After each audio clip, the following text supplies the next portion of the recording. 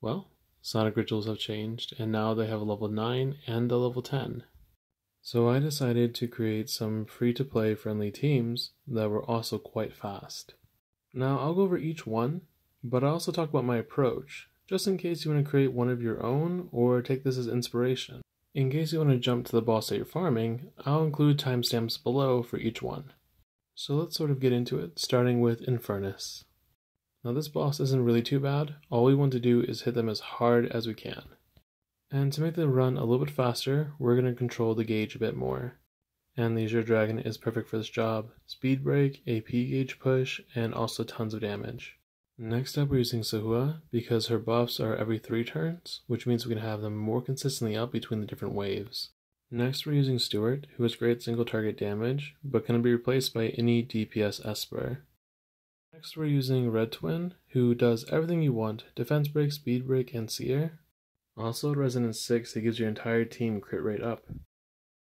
And lastly we're using Sander, who's actually built quite slow, and that's because of the boss, and you'll see what I mean in a moment.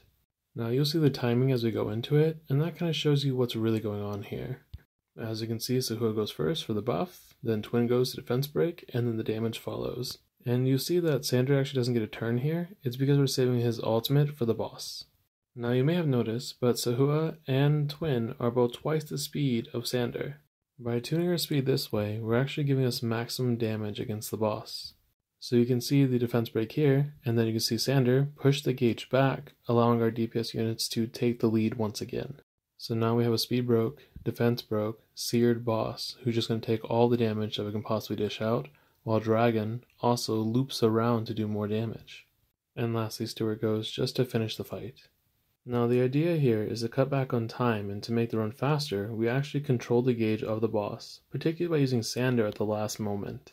And this team clears 10 out of 10, no problems whatsoever. So this is Windstriker, and he seems to have quite a bit of HP, so we're just going to go ahead and poison him. So the time on this one varies quite a bit, and the reason why is because sometimes the boss never actually gets to take a turn, which means the damage doesn't actually go into effect. So we're actually keeping our Sander at a lower accuracy to prevent that from happening. And then we have Akara built as fast as possible to apply poison as often as possible. You don't really need this speed, but I decided to do it anyways because I'm going for that quick time. Now, if you don't feel like the team is stable enough, just use Meredith instead of Sander. She'll give you a lot of stability and all of her healing. So this was actually the final level of my multi-battle. I just wanted to test it before I recommended it, and it worked really well. And this team is actually built very fast. You don't need any speed on haul whatsoever, and you should be able to clear everything really nicely. It just comes down to will the boss take a turn, and how many poisons does the boss have on them. And luckily you get to see that in action now.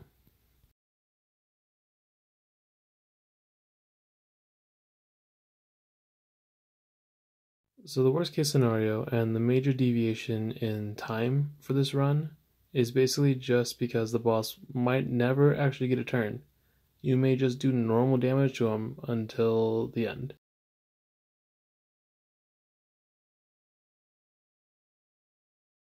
It needs a bit more testing, but an argument can be made that Sander needs to be on zero accuracy. Now there are a lot of variations to this build. If you don't feel like it's stable, add a healer. If you want to add more damage, you want to do something else. If you have Aoife, go and add her in. You can do so much with it. And there you go.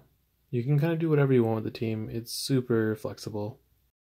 So this is one of my favorite bosses because you can just cheese it. The mechanic is that the boss heals up a lot on his turns unless you apply disease to him, and Kara can also apply poison. So we just abuse that fact. Now she has an accuracy lead, meaning that you can free up a lot of relic pressure by swapping accuracy stats for speed. And since you're depending on her poison to do damage, you don't need to build any offensive stats on her either. So you end up just stacking HP and speed and make sure you have 40% accuracy on her. And then you just 1v1 the boss. And as long as you apply your diseased, you don't have to worry about a single thing. I think this kind of shows that sometimes there are just the right espers for the job, and sometimes you don't really need to overthink fighting a boss or setting up a team. Now, she does have good relics, and that is a distinct advantage when you're going to build things. But if she can just solo it, That means that you can kind of put whoever you want as supporting cast to what she does in this fight. And for me, it felt really good just to beat this solo. Like it is the first time I've ever done that against a boss. Even a small one like this, I still count it. But anyways, the build's actually really fast, and much faster than most people will do it. And this is the last build, Shimmerer. And this one actually requires a lot of timing, and you'll notice that by the lineup.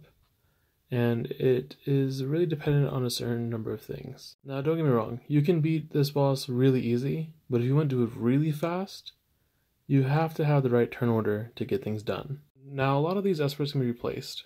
We just really want damage heavy espers, but the biggest thing is to apply a buff blocker to the boss and to be able to get rid of the shield that the first little stage has. Luckily, Chloe is perfect for removing the shield on this little minion, and you can see that here. You can see how big that shield is on her health bar. Then we follow up with a defense break and a ton of damage, and you can see that we actually save Sander's ultimate for the boss. Now applying buff blocker here is vital to speedrunning this because the boss will cleanse himself and get a huge shield on. Now we're using the Sander ultimate to push the boss's gauge back and allow the rest of our team to go next. And you can see, we have the defense break now, everyone has crit up, and we can just do all the damage that we need to immediately. Now just keep the turn order in mind, we want to have Chloe to strip the first minion and apply a buff blocker to the boss. Then the rest is just damage and defense breaking. Well, that was fast and pretty easy to be honest. And this build is also very safe. You don't have to worry about it once you get the timing down. It'll just run. Well, thank you for watching, and if you like this video, please subscribe.